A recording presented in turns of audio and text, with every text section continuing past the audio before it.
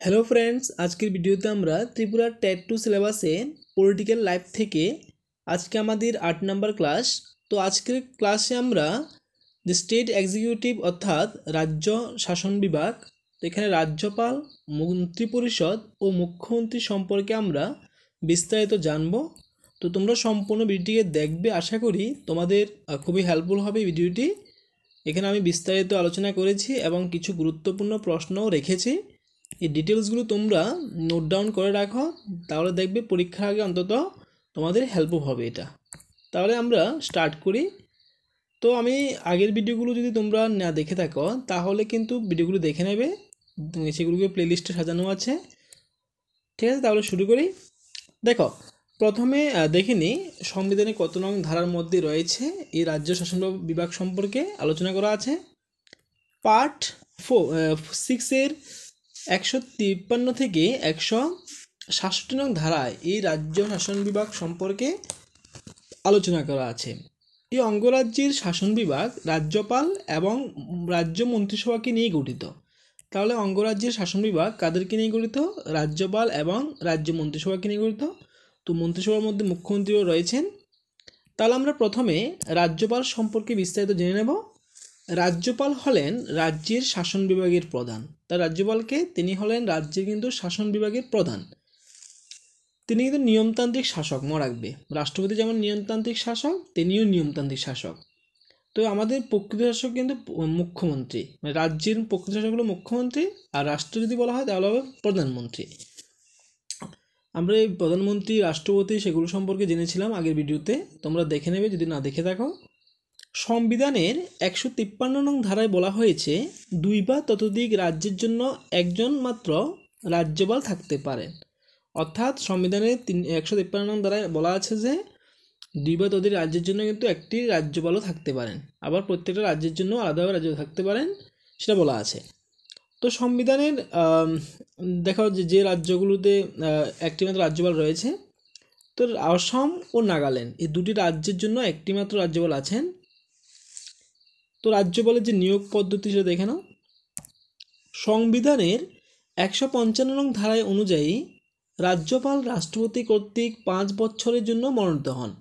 তাহলে রাজ্যপাল কার দ্বারা মনোনীত হন? রাষ্ট্রপতি কর্তৃক। কত বছরের জন্য? পাঁচ বছরের জন্য। তাহলে মনে রাখবে রাজ্যপালের কার্যকাল মেয়াদ পাঁচ বছর। যোগ্যতা। তো রাজ্যপালকে অবশ্যই ভারতীয় নাগরিক হতে হবে। তাকে পঁয়ত্রিশ বছর বয়স হতে হবে তার। তিনি পার্লামেন্ট অর্থাৎ লোকসভা বা রাজ্য বা বিধানসভার সদস্য হতে পারবেন না, যে রাজ্যপাল কিন্তু লোকসভা বা বিধানসভা সদস্য হতে পারবেন না। তো কার্যকাল মেয়াদের যে তার রয়েছে সেটা পাঁচ বছর, আমরা জানি। তিনি বিভিন্ন ধরনের কাজ করে থাকেন, তো সেগুলো দেখে নাও। সংবিধানের একশো চুয়ান্ন নং ধারা অনুযায়ী তিনি নিজে বা তার অধস্তন কর্মচারীর মাধ্যমে ক্ষমতা প্রয়োগ করেন। ঠিক আছে? এখানে অধস্থ কর্মচারী বলতে যে মুখ্য, যে মুখ্যমন্ত্রী সহ যে মন্ত্রিপরিষদ রয়েছেন তাদেরকে বোঝানো হয়? সংবিধানের তিনশো ছাপ্পান্ন নং ধারা অনুযায়ী রাজ্যপাল রাষ্ট্রপতি শাসন জারি করার জন্য রাষ্ট্রপতির কাছে সুপারিশ করেন। তাহলে রাষ্ট্রপতির কাছে কে সুপারিশ করেন? শাসন যে রাষ্ট্রপতি শাসন জারি করার জন্য রাজ্যপাল। রাজ্যপাল দেখে, যদি দেখে যে রাজ্যের পরিস্থিতি খারাপ মানে গভর্নমেন্ট নির্দিষ্ট নিয়মনীতি অনুসারে কাজ করছে না, সংবিধান মেনে কাজ করছে না, তাহলে রাষ্ট্রপতির কাছে তিনি অনুরোধ জানাতে পারেন সে রাজ্যে রাষ্ট্রপতি শাসন জারি করার জন্য। ঠিক আছে? তো রাজ্যের হাইকোর্টের বিচারপতিদের নিয়োগের ক্ষেত্রে রাষ্ট্রপতি অপরিহার্যভাবে রাজ্যপালের সাথে পরামর্শ গ্রহণ করেন। যখন কোনো একটি রাজ্যের হাইকোর্টের বিচারপতিকে নিয়োগ করা হয়, তখন কিন্তু রাষ্ট্রপতি রাজ্যপালের রাজ্যপালের সাথে পরামর্শ গ্রহণ করেন। রাজ্যপাল হলেন সকল রাজ্যের বিশ্ববিদ্যালয়ের আচার্য। তাহলে আচার্য কে ছিলেন? বিশ্ব, বিশ্ববিদ্যালয় হবে। এটা বানানটা ঠিক করে নেবে বিশ্ববিদ্যালয়ের আচার্য। ঠিক আছে বানানটা মিস্টেক হয়েছে। দেখে নেবে। রাজ্যপাল বিধানসভায় একজন ইঙ্গ ভারতীয় প্রতিনিধি মনোনীত করতে পারেন। তাহলে রাজ্যপাল, বিধানসভায় কতজন ইঙ্গ ভারতীয় প্রতিনিধিকে মনোনীত করতে পারেন? একজন। তারপর দেখে নাও, রাজ্য আইনসভার অধিবেশন আহ্বান স্থগিত রাখতে পারেন রাজ্যপাল। রাজ্যপাল কী করতে পারেন? রাজ্যে যে আইনসভা রয়েছে, তো আইনসভা অধিবেশনকে আহ্বান, অধিবেশন আহ্বান করেন এবং সেটাকে স্থগিত রাখতে পারেন। আর তিনি বিধানসভাকে ভিঙ্গ দিতে পারেন। ঠিক আছে? প্রত্যেক আর্থিক বছরের জন্য রাজ্য সরকারের আনুমানিক আয় ব্যয়ের একটি বিবরণ, বিবরণী বিধানসভায় পেশ করতে হয়। অর্থাৎ প্রত্যেক বছরে যে আর্থিক আয় ব্যয়, তো সেটার জন্য একটি বিবরণী তাকে বিধানসভায় পেশ করতে হয়। রাজ্যপালের সুপারিশ ছাড়া কোনো ব্যয় বরাদ্দের দাবি উত্থাপন করা যায় না। ঠিক আছে? তার অনুমতি ছাড়া কোনো অর্থ বিল বিধানসভায় পেশ করা যায় না। তাহলে রাজ্যপালের সুপারিশ মানে অনুমতি ছাড়া কোনো অর্থ বিল কিন্তু বিধানসভায় পেশ করা যায় না। তারপর দেখে নাও, সংবিধানের একশো তেষট্টি নং ধারায় রাজ্যপালের স্বেচ্ছাধীন ক্ষমতা সম্পর্কে আলোচনা করা আছে। খুব ইম্পর্টেন্ট রাজ্যপালের একটি গুরুত্বপূর্ণ ক্ষমতা হলো স্বেচ্ছাধীন ক্ষমতা। এটি সংবিধানের একশো তেষট্টি নং ধারায় রয়েছে। এই ধারাটা মনে রাখবে কিন্তু। তো এই স্বেচ্ছাধীন স্বেচ্ছাধীন ক্ষমতা কি? রাজ্যসভার পরামর্শ ছাড়া রাজ্যপাল এই স্বেচ্ছাধীন ক্ষমতা প্রয়োগ করতে পারেন। অর্থাৎ রাজ্যপালের এই যে ক্ষমতাটা রয়েছে, এটা কিন্তু কোনো ধরনের মন্ত্রী পরিষদের সাথে সে কি, পরামর্শ মন্ত্রী পরিষদের পরামর্শ ছাড়া কিন্তু সে তার ক্ষমতাটা প্রয়োগ করতে পারেন। এই ক্ষমতাটা শুধুমাত্র রাজ্যপালের রয়েছেন রয়েছে। তারপর দেখে নাও, রাজ্যে যে মন্ত্রী পরিষদ রয়েছে, বা the the state of council minister অঙ্গরাজ্যের রাজ্যপালকে তার কাজে সাহায্য ও পরামর্শ দানের জন্য প্রত্যেক রাজ্যেই মুখ্যমন্ত্রীর নেতৃত্বে একটি মন্ত্রী পরিষদ থাকবে। একশো তেষট্টি নং ধারা বলা আছে। সরি ধারাটা ধারাটা ভুল আছে, তোমরা এটা ঠিক করে নেবে। একশো তেষট্টি নং হবে না এটা।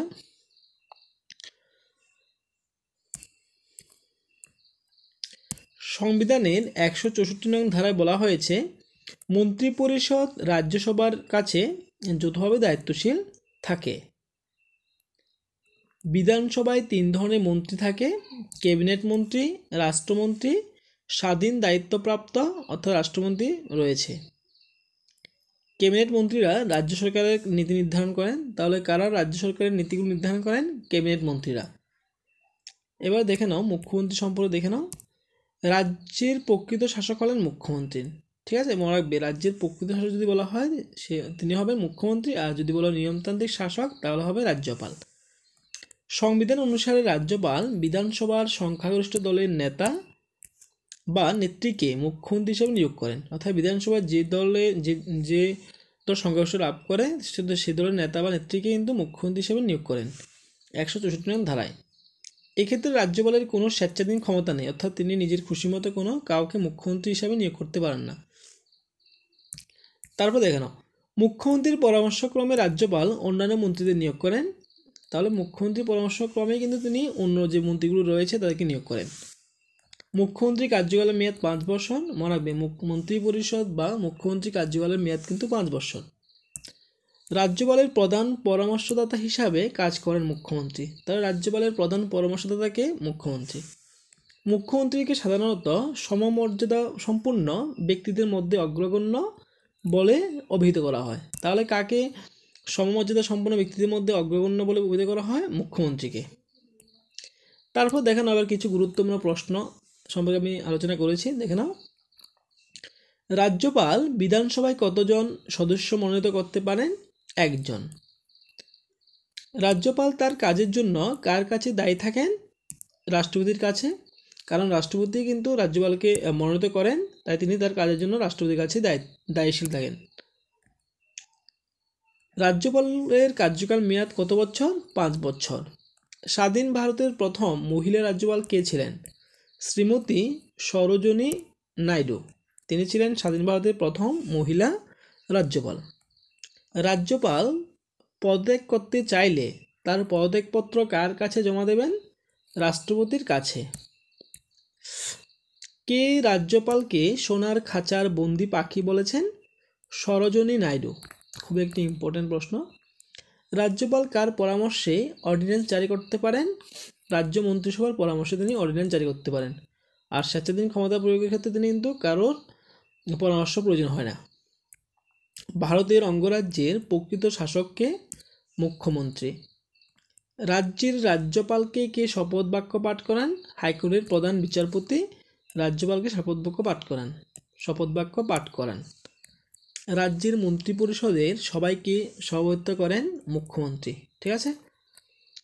তোমরা রাজ্যপালের যে এখানে একটা ধারা ছিল, সেটা আমি পরে বলে দেবো কমেন্টে। দেখে নেবে, আমার এটা একটু ডাউট আছে। টাইপিংয়ে কি টাইপিংয়ে কি মিস্টেক হয়েছে কি না এই ধারাটা, ঠিক আছে? যে মন্ত্রিপরিষদ যে গঠন, যে যে ধারাটা আছে। ঠিক আছে? সবাইকে ধন্যবাদ সম্পূর্ণ ভিডিওকে দেখার জন্য। আর ভিডিওটি যদি ভালো লাগে, তাহলে অবশ্যই ভিডিওকে লাইক করবে এবং চ্যানেলটি সাবস্ক্রাইব করবে। আর আগের ভিডিওগুলো দেখে না দেখলে প্লে লিস্টে গিয়ে দেখে নেবে।